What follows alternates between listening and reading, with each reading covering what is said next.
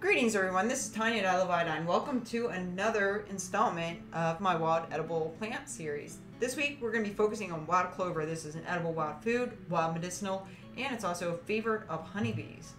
Before we get started, a little disclaimer I'm not responsible for any injuries or illnesses that result from your actions. You are responsible to do your own research, most importantly, use your common sense. It is imperative to always properly identify a plant before you even touch it, let alone consume it. Use this information along with quality field guides, other reliable sources, and or a knowledgeable forager to assist you. That being said, let's talk about white clover. It's a very common plant. It's been naturalized, brought over here by um, somebody. Came from Europe, so someone had to bring it. Uh, the genus is uh, Trifolium, so you might we're going to see a couple different uh, varieties probably in my backyard. There's some subspecies of this one. We're also going to see the red clover uh, whenever we go out there, as well as a look-alike, the yellowwood sorrel. All of them are edible, they're just used differently, so keep those things in mind. Learn each individual plant. This one's going to flower May through September. You might see it April through October, depending on where you are and depending on the year. Things change from year to year, seasons are always changing. This one's commonly called Dutch clover in other areas, not where I live, but it's called Ladino clover or Ladino. This is in the pea family, uh, legumes, beans. We're familiar with those might have eaten some today if you uh, had some peas or something. Fabaceae is the technical botanical name for that family. And what we have here on the left hand side, we got a bee having a little look into the flowers, collecting a little bit of that nectar, maybe going to make some honey. So it's a really nice one for that. This is not the only species of clover used to make honey, and it's probably not even the preferred as far as taste for us, but it's definitely one that bees do like and it's very beneficial for them we need to keep in mind not to spare yards. We can encourage things like that to come in, pay us a little bit of a visit, and keep, you know, our food sources going. A lot of our plants that we actually use for commercial, um, you know, for our dinner, like almonds and stuff, they need bees to pollinate them. So we need the bees to be able to survive. So watch that pesticide use. That said, we're going to be talking here about the white clover and its edible and medicinal benefits. We're going to see the size when we go outside. It's going to make it a little bit easier. We're going to see that this flower head's going to be about a half inch, you know, size of a small marble, if you will. Typically is what you're going to see. Uh, the white clover is going to be smaller than the red clover, much more low growing. The red clover is going to be, you know, quite sizable to get up to, you know, a foot, 18 inches sometimes, uh, if it's in a good type of uh, soil that it likes. Whereas the white clover, typically 4 to 10 inches. The one in my yard is a rather low growing species, which is great because keep you know the need to mow down but it is uh, taking over little sections of my yard which i'm encouraging to do by mowing around it letting the flower heads go to seed and then letting them spread and take over a little bit and keeping the lawn looking good but still encouraging a, a free food source to be growing that is pesticide free. As we see here on the right hand side we have the little leaves. We have leaves of three. Now you might get lucky and see a four leaf clover five leaf six leaf think they go pretty high up. Uh, I'm not the patient type, so I don't spend much time looking for four leaf clovers. A friend of mine is very good at it and actually is very lucky, has a good eye for it as far as that goes. And of course, you know, you might go out there and check some out yourself. Anyway, whenever we see these uh, clovers, the red clover and the white clover, but this time we're going to be talking about the white clover. We're going to see these markings, the V shape, they're going to be more pronounced when we look at the red clover. And we're going to see sometimes a little pink in these flowers. Don't be surprised um, if you see some. And there's different varieties of clover, so some are, you know, whitish pink, pinkish. Then, of course, you have the pinkish red. You know, they, they look purple, but they call them red clovers. But again, this is the specific one here. And how would we use this? Flower heads can be used. That's very uh, often for medicinal purposes but you can use the whole plant for edibility. Of course, palatability is a whole different story and it needs to be processed. We're dealing with perennials here, so it means they're going to come back year after year and, of course, spread by seed as well as keep coming back up.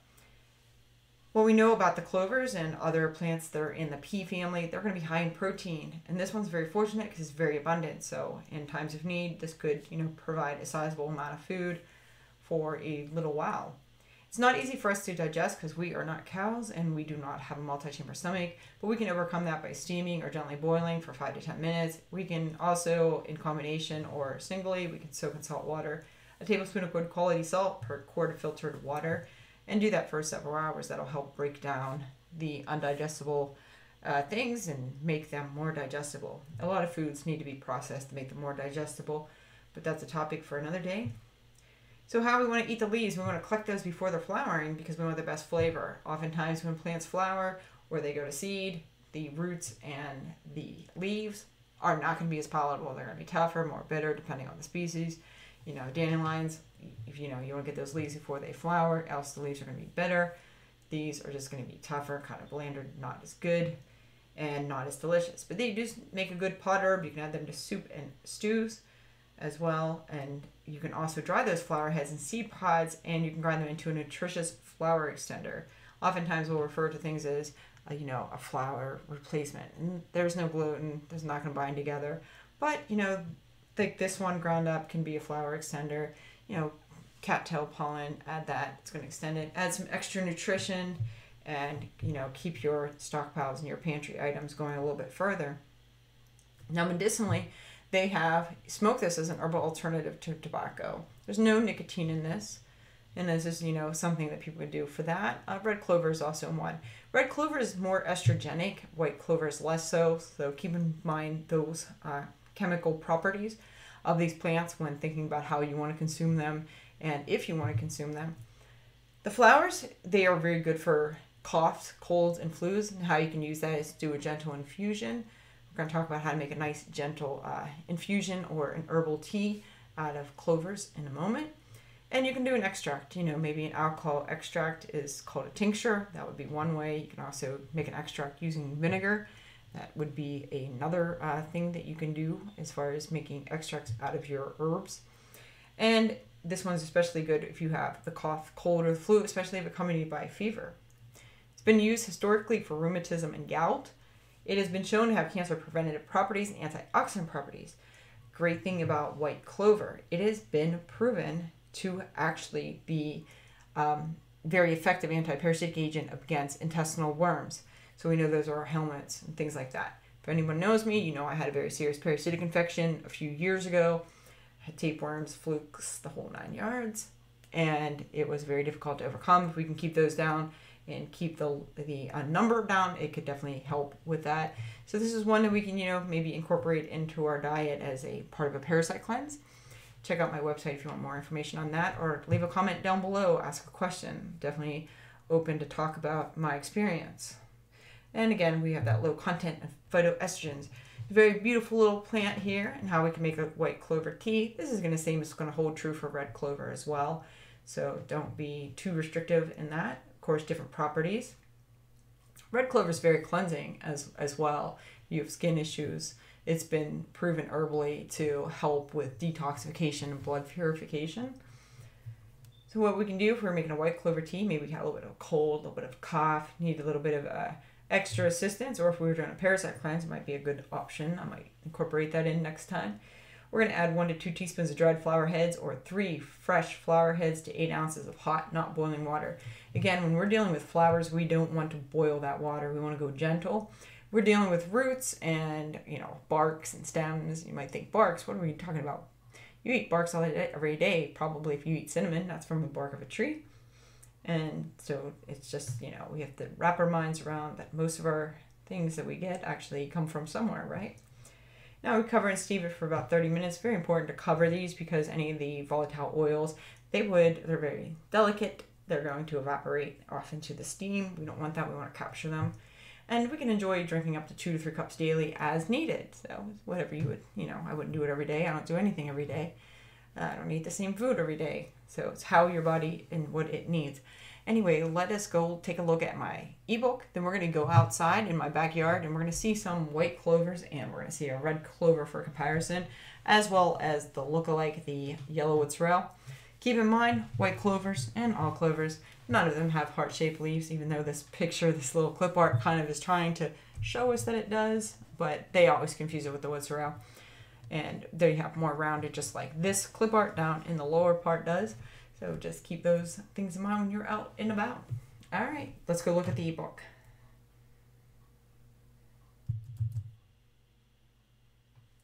All right, now we're at the ebook I wrote, and White Clover is actually part of the ebook. There's 20 something other plants as part of it. I started writing this a few years ago when I lived outside Washington, D.C., and just opened up a Word document and ended up with a two dozen plants, two pages each, and a little glossary and some other information that might help you if you're interested.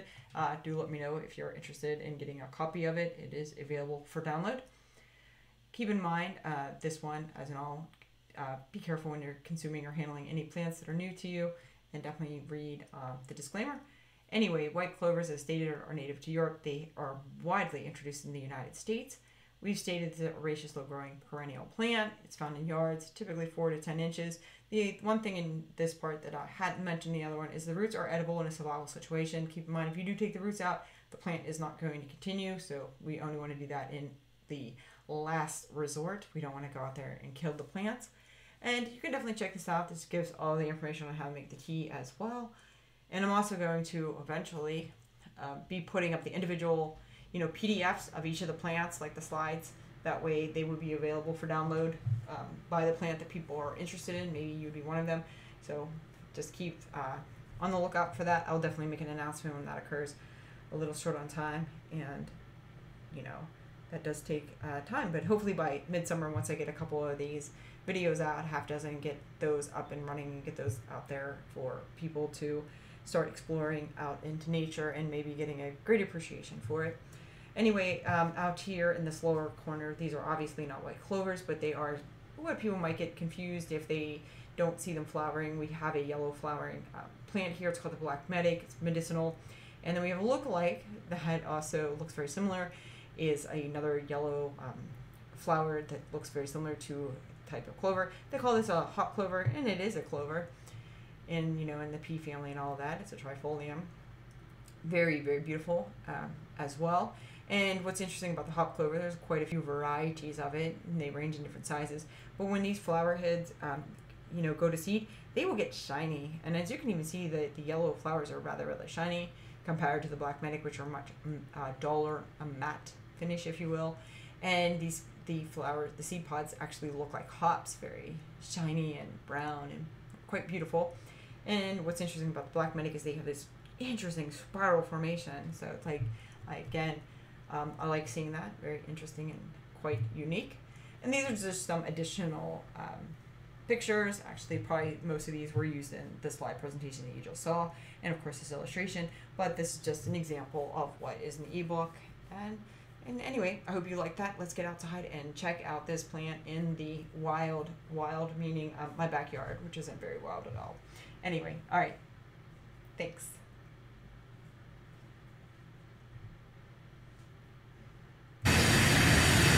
Now we're in my backyard. It's mid-June of 2022.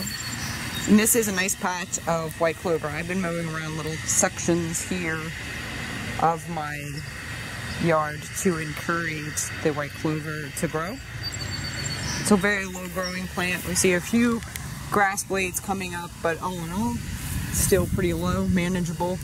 The lawn police won't be coming, you know, to cite me for not mowing my lawn.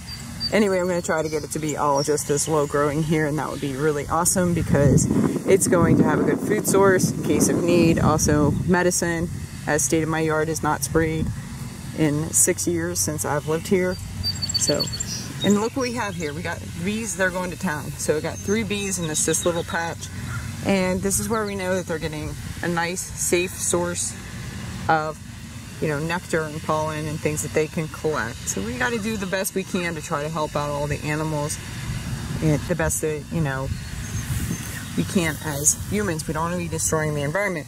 That said, what we have here is some close-ups of the flower heads of the white clover and then we're going to do a close-up of the leaves here. Again, we are going to expect to see these little white markings. Now you could, if you're lucky and patient, I'm sure there's probably a four-leaf clover hiding here somewhere. Not that patient to look for those. As you see here, we have some of the seeds that are drying up, the flower heads going to seeds. This would be what we would want to collect for grinding into a flour extender. And there's a little ant crawling on me, distracting me a little bit. We can just see what this is. It's a nice cluster, so we can collect these leaves, and again, we can use these flower heads for tea, for coughs, colds, especially if accompanied by fever. Very nice, mild tea, make a tisane, rather, would be the proper term. And of course, we have some dandelions growing in here. Everything in my yard is to keep all the poisonous things out. We're just gonna just walk two steps over here to see some black medic We've got these yellow clover-like flowers. It is clover, so that is why we would have those. And we have very little sets of three leaves there. Expecting to see, you might see this growing. This is medicinal. Pretty interesting. looks more like the hop clover has yellow uh, flowers as well. Hop clover is growing a little bit on the other side, not in my yard, we can't get that. Just check out the picture on that. Now we're just gonna walk a few more feet to see the yellowwood sorrel. So this is the yellowwood sorrel. We have these leaves of three. I actually just pull one and then I'm going to eat it. It's delicious. These would typically, it's a little hot out so it doesn't, it kind of folds up on itself. So we see those heart-shaped leaves there, sets of three. This is a nice little trail side nibble. Oftentimes you'll see little clip arts of clovers showing these. Completely different plant, but you know, they're trying. Again, I also want to mention on the white clover, which I don't think I did, it, the leaves have serrations, like very minor serrations, and there's a little bit of hair on them, but the stems are smooth. Whereas when we see the red clover, we're going to see a lot of hair on the stems, and we're going to see a lot more hair on the leaves as well. So the white clovers are, you know, more better, like if you're doing it in salt water, maybe do it lightly steamed. Squirrel just ran across the yard distracting me. It's like, squirrel. Alright, I just want to go back over here and just be careful not to step in the patch of the white clovers. Or I might step on a bee. So whenever we look at these, we can definitely see that there is some very, you know, um, very serrations, very, very tight. We'll see more pronounced on the red clover. All right, let's get over and check that out. Now I'm sitting in my front yard. This is where I have some red clover growing. You can see how much higher this is compared to the white clover.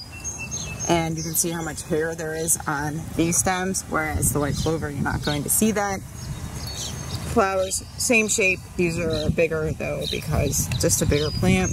This is red clover. I know it looks pink purple, but that is what we call it. Beautiful little flowers. These would be good for a tea right here as it is. I'm to make sure there's no mold on these as well. Make sure there's no mold on anything. And notice how large these leaves are. Now the bugs had a little bite on them, but you know, that's okay. They have to eat too. Definitely check how big the leaves are. You can see those really fine hairs on these, much more pronounced. You can definitely see the markings, the V's, easier on these as well. You definitely see them on the white ones as well, but sometimes it's just a little more subdued but these you can definitely see from a distance. Anyway, just wanted to show the difference between those plants. We have some other friends growing over here. This is mallow. You can eat this one as well. It's a non-native. It's been brought in. Anyway, I hope that helped with the identification of the white clover and showing some of the difference between the red clover, another yummy edible as well. The tea's delicious. Very healthy. I like it. And we have our mallow. That's not a clover, but it is a good one anyway. And we have our black medic, and you saw the yellowwood sorrel. All right, peace and love, everybody. Please leave a comment, like, subscribe, do all that jazz. Um, have a really great one. Happy Friday. Take care.